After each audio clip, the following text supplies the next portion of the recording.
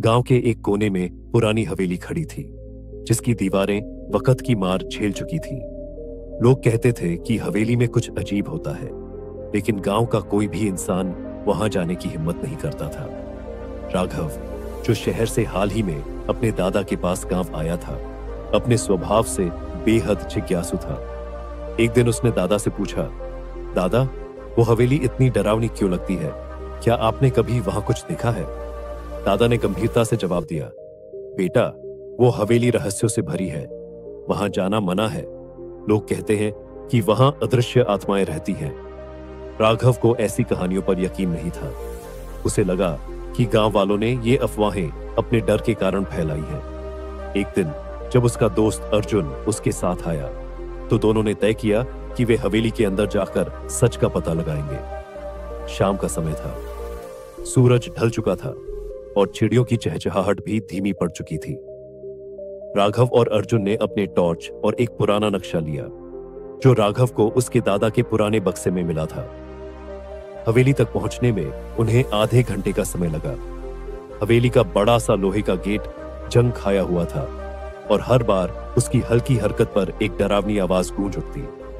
दोनों ने गेट को धक्का देकर खोला और अंदर कदम रखा। हवेली के अंदर घुप अंधेरा था। चारों ओर मकड़ी के जाले और टूटे फर्नीचर पड़े थे। अर्जुन ने धीमे स्वर में कहा, राघव, मुझे यहाँ अच्छा महसूस नहीं हो रहा। चलो, वापस चलते हैं। लेकिन राघव ने उसकी बात अनसुनी कर दी और आगे बढ़ा। वे एक बड़े हॉल में पहुँचे। वहाँ एक पुरानी पेंटिंग लटकी हुई थी, जिसमें एक परिवार के सदस्य दिखाई दे रहे थे। अचानक पेंटिंग के चेहरे बदलने लगे। अर्जुन ने डर कर राघव का हाथ पकड़ा। तभी उन्हें एक धीमी हँसी सुनाई दी। दोनों ने इधर उधर देखा, लेकिन कोई नहीं था। अचानक टॉर्च की रोशनी बंद हो गई। अर्जुन ने घबराकर चिल्लाया, राघव, ये क्या हो रहा है? तभी एक धीमी आवाज़ सुनाई दी, तुम लोग यहाँ क्यों आए हो? दोनों ने पीछे मुड़कर देखा, लेकिन वहाँ कोई नहीं था। तभी राघव ने कहा, हम किसी को नुकसान पहुँचाने नहीं आए। हमें सिर्फ़ ये जानना था कि यहाँ क्या रहस्य है। आवाज़ ने कहा यहाँ का रहस्य यह है कि यह हवेली एक समय में एक खुशहाल परिवार का घर थी, लेकिन लालच ने सब कुछ बर्बाद कर दिया। अब हम यही बंधे हैं। जो भी यहाँ आता है, उसे यही सिखाना चाहते हैं कि लालच से बड़ा कोई दुश्मन नहीं। राघव ने कहा, हम आपकी मदद कैसे कर सकते हैं? आवाज़ ने कहा, इस हवेली में एक गुप्त कमरा है। वहाँ एक पवित्र ग्रंथ रखा हुआ है। उसे मंदिर में पहुँचा दो ताकि हमारी आत्माएँ मुक्त हो सके। राघव और अर्जुन ने हिम्मत जुटाई और गुप्त कमरे की तलाश शुरू की। उन्हें कमरे के फर्श के नीचे एक दरवाज़ा मिला।